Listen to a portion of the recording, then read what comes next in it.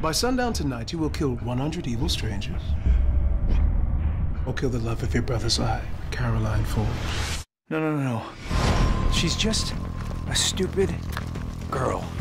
The devil can't be killed. We just need to change the equation. You can end this here and now with one particular soul. Nobody else has to die. I beg to differ.